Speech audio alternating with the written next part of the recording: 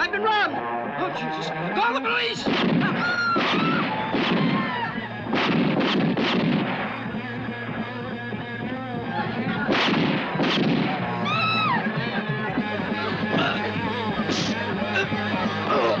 And now I'd like to present the man who brought him in, Lieutenant Dominic Malacarne.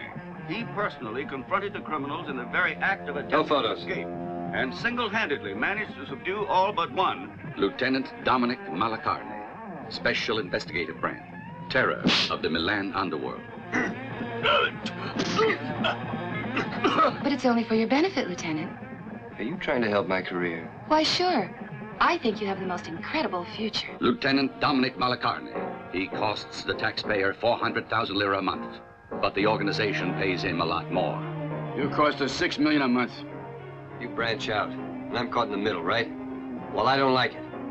First coffee, then tobacco, now guns. First 10, then 20, now 60 a year. 60 million lira a year. $100,000. That was Dominic Malacarne's price. The price of a cop on the take.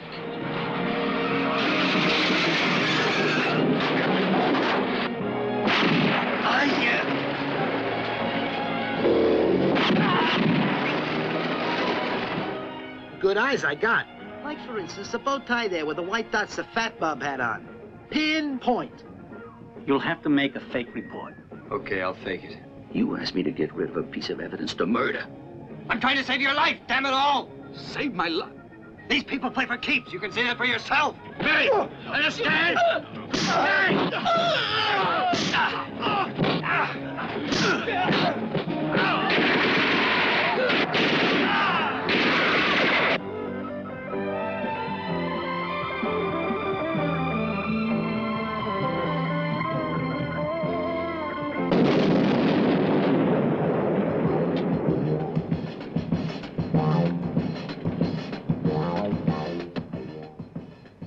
You're slipping, Lieutenant. A piddling report for him.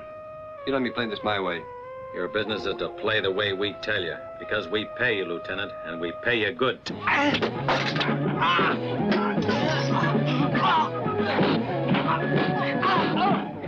Okay, my son, the lieutenant, has dishonored the family with corruption. I have 60 million aside, an expensive girl, and when I say rise, everyone jumps and goes, how high? They pay you. What have you... You sold out, you...